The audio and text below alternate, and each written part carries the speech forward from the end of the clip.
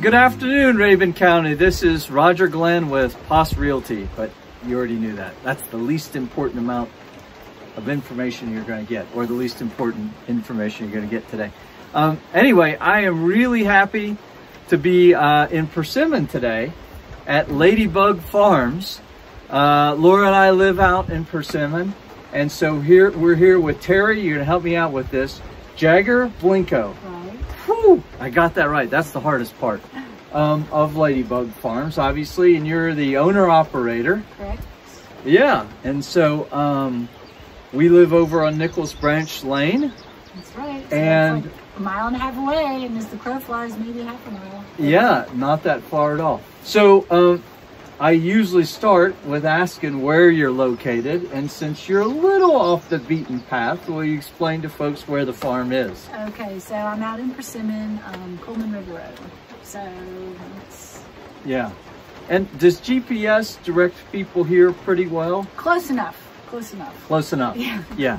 So if you come out Persimmon Road until you get to Coleman River Road, just about the time the pavement ends, Yep. you start looking for Ladybug Farm on the right. So, Yeah. um, well, Terri, tell us a little bit about your story in terms of how you came to, to be here and have the farm. Okay, so um, it was in 2000 and, well actually 2007, I came up here for a season and I just, it sounds crazy, but I just really wanted to grow spinach and I don't even know where that came from, but that's what I wanted to do. Uh huh. And Probably so Popeye. I, maybe, I don't know. but so I came up to the mountains because I had fallen in love with the mountains. I'd been up here several years before studying uh, medicinal herbs with Patricia Kyritsi Howell and of fell in love with the mountains. And so came up here for a season, found some land in Tiger that they allowed me to do an eighth of an acre garden, organic garden Yep. and rented a place in Wolffork Valley and to just try it out and sold at two farmers markets a week, one at the Clayton Market up here at the time we were on Main Street in front of Mr. Butler's Uh huh.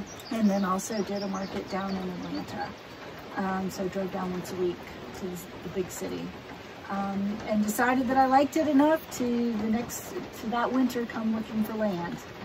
And so I ended up I was looking for three acres, and I ended up with 14. And um, so I couldn't find a small parcel of bottom land. And very grateful that um, I do have the space in Yeah. the national forest next to me and the big open 11 acres of pasture. So it's a, uh, on a small, relatively small footprint, a very diverse piece of land with woods and pasture adjacent to national forest and then the creeks. Yeah, absolutely. It's a beautiful area. And so, um, tell us about Ladybug Farms, and if you could start with maybe the obvious question: Is how'd you come up with the name Ladybug Farms? Uh, well, so I've always loved ladybugs, and um, my I had a garden design business before farming, and that was Gardens by Ladybug. But that originally came from I just always love ladybugs. They're nothing flashy, they do good work, and they always make you smile. so that's just the ladybug thing, and so it only made sense when I got a farm that. I'm the ladybug and now I farm, therefore Ladybug Farms. Yeah. So that Yeah. was the uh, idea behind that. And um, yes, we do have ladybugs here. And yes, they get in my cabin in the spring like everybody else does and they maybe become annoying for a moment. But, um, you know, they also do good work and they do make you smile and they are pretty. Yeah. So that's the origin behind the name. Um, and so I, um, I grow 40 different crops, um, pretty much everything but corn. Um, and I save a lot of my own seeds. I start a lot of my own transplants. I do a lot of heirloom tomato plants. I do plenty of varieties of them. Yep. Um, sweet potato slips. Today I was uh, potting up uh, the strawberry plants for next season. Ooh. So getting those um, from mother plants, you send out the babies, you do the pups, then cut them off. You know, it's, you know, Yeah. it's a process. Um, Yes. I plant by the moon, so I'm very tied to that. It's basically the farmer's almanac. A lot of locals do that here. What I like about that is every 28 days there's a rhythm that starts over again, and I know I just need to plug into that rhythm of what's happening and Yeah. It's way bigger than me. So, Yeah. You were saying too, um, you know, it's a lot about not just the seasons, but the weather on any given day. Sure. So the only good news about us doing this in the rain is that we're not necessarily taking you away from work, oh, right? Oh, this is true. Although, trust me, I have my sunny day list and my rainy day Yeah. list and my sunny day hour and my rainy day hour. Yes. So, yeah. Ringing the I gave up, productivity I gave up looking at the weather reports a long time ago because I realized I was not getting so many things done because of the possibility that it might rain. Yes. And so now I just kind of like, Which that's it. That's actually a great um, lesson in, in getting around and talking to a lot of different people. Um, I certainly understand the importance of people trying to predict the weather um, and what meteorologists do. But at the same time, you know, if, if you take it as gospel, you may miss an opportunity to do something really cool. We were just up with Pam Thompson at the stables, and sometimes when they say, well, it's going to rain today, nobody comes out and tries to, to do Sure. things. And so the weather is worth, to your point, watching yes. and having a plan to take advantage of. right. Making some hay while the sun is No, shining. Yes, yeah. Hay is something you do not want the rain for, but just about anything else. But I also, um, you know, I'm not a sugar cube. It's not a good idea to be a farmer if you're a sugar cube. But the reality is, you know, so you get a little wet. Oh well, you know, Yeah. you can dry off. And there are certain things in the fields that I don't want to be doing in rain. Like yesterday, I really wanted to be trellising the beans, the full beans. It was time. They're sending out their runners, and it's time for them to be trellised. But we've had the sprinkles every afternoon, Yeah. and I don't want to be in with certain plants because that's when you can transfer a lot of disease with the tomatoes and the beans. So I couldn't do that. But there's plenty of other things Yep. We can do. So. Um, your produce, how do you generally then uh, distribute that? Um, I have done a CSA for many years, which stands for Community Supported Agriculture, Mhm. which is a box of produce with a weekly delivery. That I believe is the best model for a small farm to make a living because you can count, you take the market risk out of the equation. You know that if once you get those customers, you grow it. If you grow it, once you grow it, it's sold. Yeah. Um, but it's also a lot of responsibility.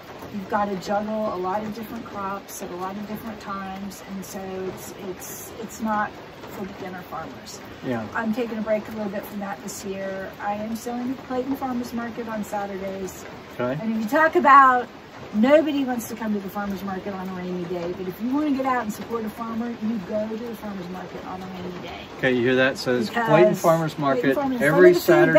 bank, in front of the food bank every Saturday, Yep. nine to twelve thirty. Yep.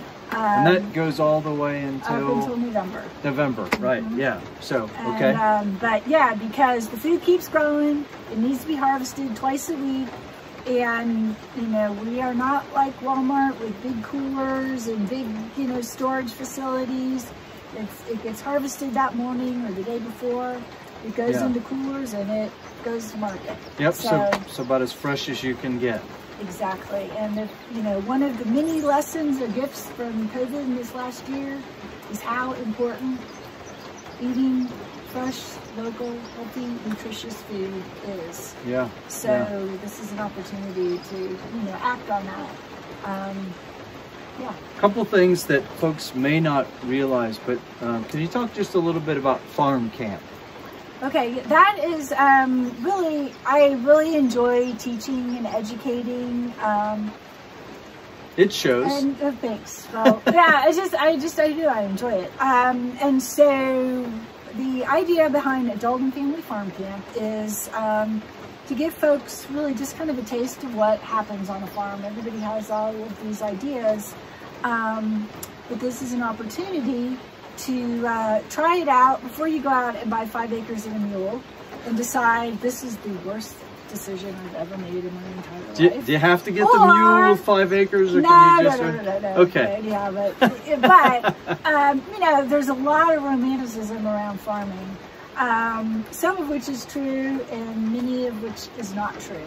Yeah. And so in my blog for years, you know, I've talked about the good, the bad, and the ugly. It's, you know, don't try to sugarcoat it.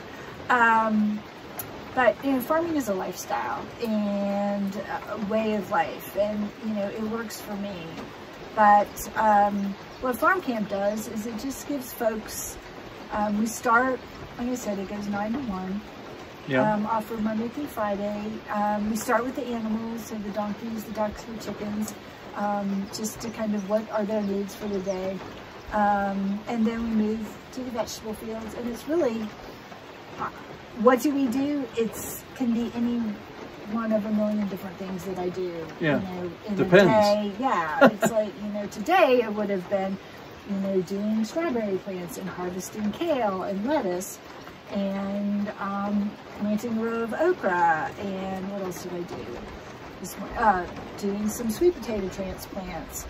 And I don't know. I mean, Yeah. that was before 11. You're You making I you're making me So, hungry. I should have yeah. eaten lunch before I came. Definitely you should have. But now Um, farm camp is is primarily for children. Well, it's Or- if it's if it's children only, there needs to be an adult on the property the full time, the whole time. Yep. Um, so the idea behind it, I have a tiny house at my farm um, that is um, for people that want to do farm camp and stay at the farm. I was gonna say. Yep. So so that's available for that. and that's on Air on Airbnb. B and B. Yeah. Um, but also, you know, I'm starting to do more just day farm campers. Yeah. You know, homeschoolers that would come, um, or you know, maybe even if you have a child that's really interested in, you know, the garden, it might be a good, you know, mother-daughter, father-son, father-daughter, you know, yeah. outing. Um, get them outside.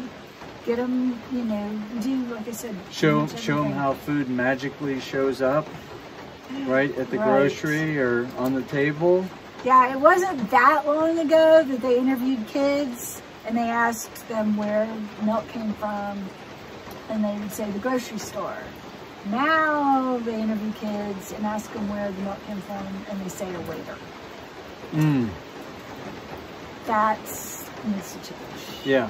Yeah. That needs to change. Yeah. We were talking about one of my fondest memories as a child was working in our family garden. Mm-hmm. and um, you know literally pulling something off the vine from the earth stuck you know corn shucking it you know and then giving it to mom and let mom cook it and then eating it Sure, which sure. not only from a taste standpoint is good but the larger lesson you know is the investment in and what it requires from an effort standpoint Sure. to Well, and it's very empowering too. You know, to think that you can plant a little seed and, Yeah. you know, four months later you can have an okra plant that's, you know, taller than your head. yeah And, you know, it's people that, when I'm here every day, I don't necessarily see, you know, the changes like the potatoes, but um, I had some uh, family that came and stayed at the farm camp and helped me plant the potato row. Um, gosh, it was maybe six weeks ago. And she sent me a text, you know, send me some pictures of the potatoes. And so I showed her. Now, granted, you know, in the six weeks since they've been here, they've been reeded, they've been hilled, they've been mulched, they've been fertilized with a, I'm trying something new this year using molasses. Um, the organic and, stuff Yeah, and and so I sent. She's like, "Oh my gosh, they're huge," you know. And it's like, so, but you know, to me, I was like, "Gosh, I don't feel like they've grown that much." But Yeah. you know, somebody that it's just like when you see a, you know, if you see your child every day, or if it's your niece and you see her every two months, you see the changes so much Yeah. more differently. So it's the same with the No, but um, one of my favorite quotes I love is, you know, watching something grow is good for morale because it helps you believe in life. And, you know, Yeah. I feel so fortunate to be here doing this work and be surrounded by life affirming, abundance, beauty, you know, just yeah.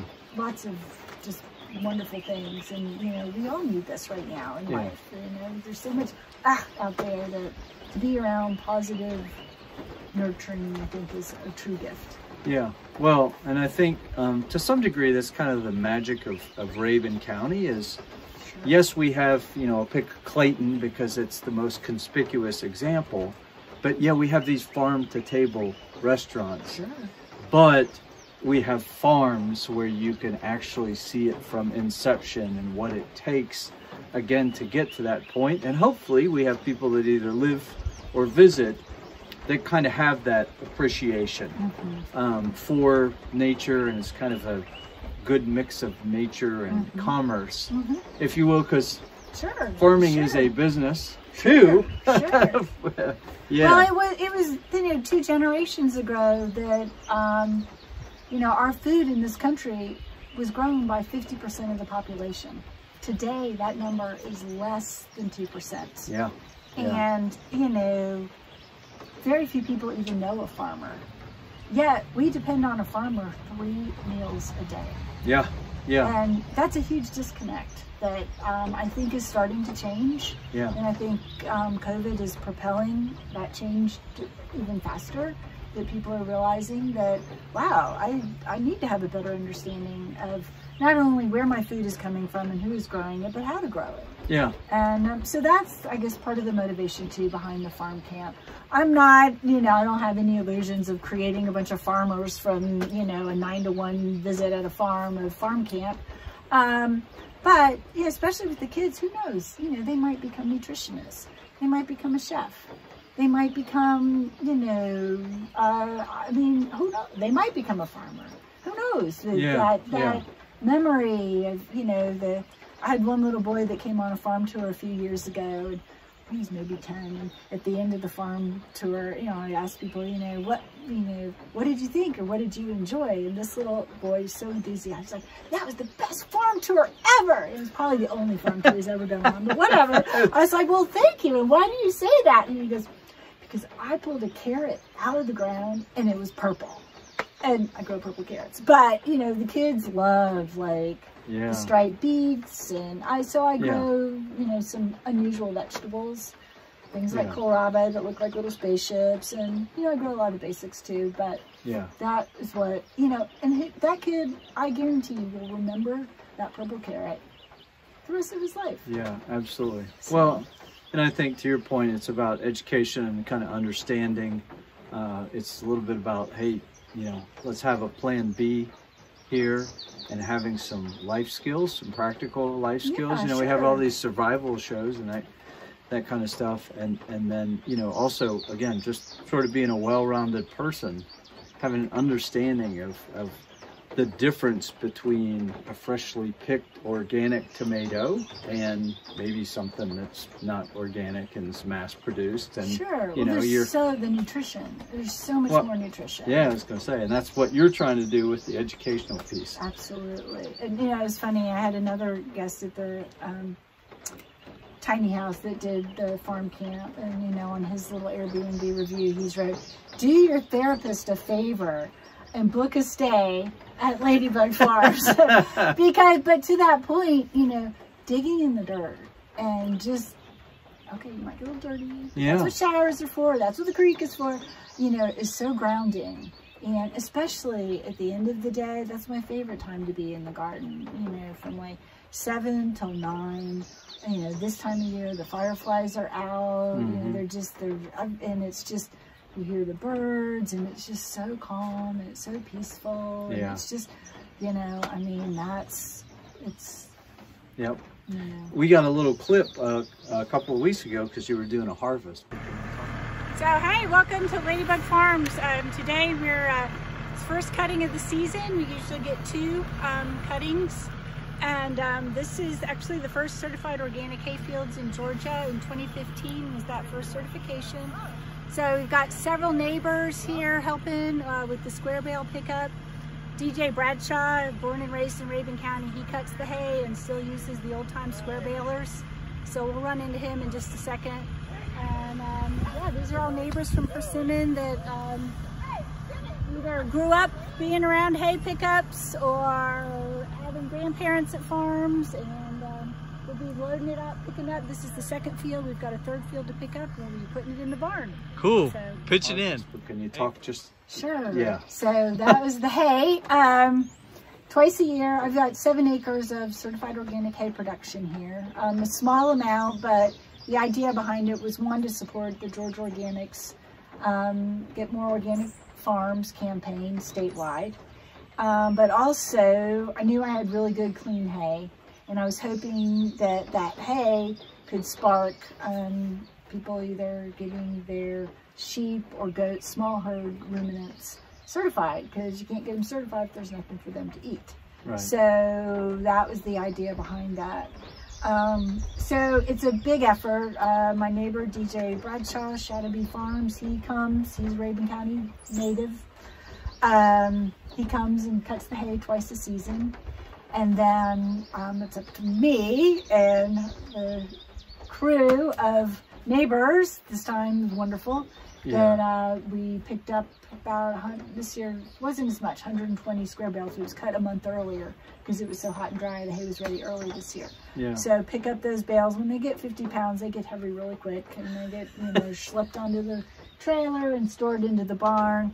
Most of this actually, because I'm so far from, um, if I was closer to Atlanta, there's a big demand for the organic hay down there, but I'm Yeah. two plus hours away. So a lot of it is actually gone for mulch for gardens because it's clean. It doesn't have any pesticides on it and people that are, you know, want their gardens to be free. Yeah. A lot of people will use um, Yeah. chemicals in the hay, but this said nothing on it. Um, so yeah, so it was a great, we had, I've never had so many people come as I did this time. And um, we got it done in no time and then sat around and had angel food cake and strawberries from the garden because it's Oh, strawberry time. yeah. You missed that. Well, I Um, didn't deserve it because I didn't do any work that Well, day. I just showed up and took some so some pictures. So, Yeah, like the little red hen we There, were talking yeah, about. okay, I didn't okay. deserve any bread that day. Oh. Um, and so for folks that are interested in, um, I know you talked about you know the the tiny house in terms of Airbnb, but if they're interested in farm camp and all that sort of stuff, what's the best way to get in contact with you? Um, really just on my website, ladybugfarms.net. Yep. NET. We'll link it. Um, okay. Um, and which would have my email. Yep.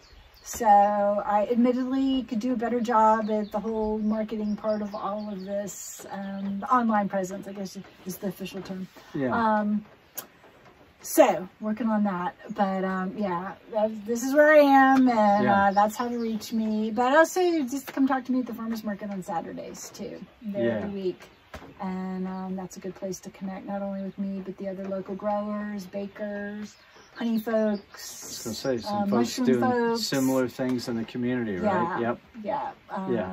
and uh, it's it's yeah, a nice variety, nice diversity of, of different things, and plus it's just a way to get out, meet your neighbors, meet your see community.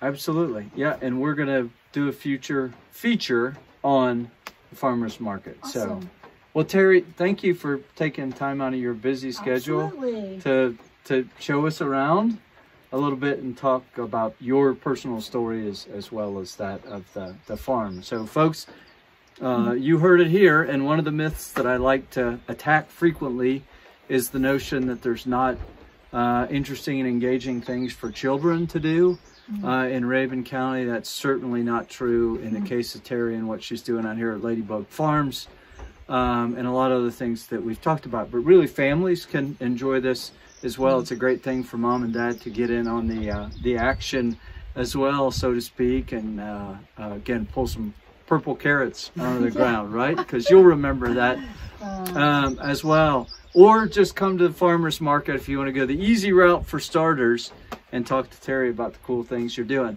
And look at this. The sunshine has, know, has returned. This So is Rabun County. If you don't like the weather, wait 10 minutes, it'll change. it'll change for you. Uh. So will you help me say goodbye? Or as I like to say, we'll see you next time, Rabun County. Thanks for visiting.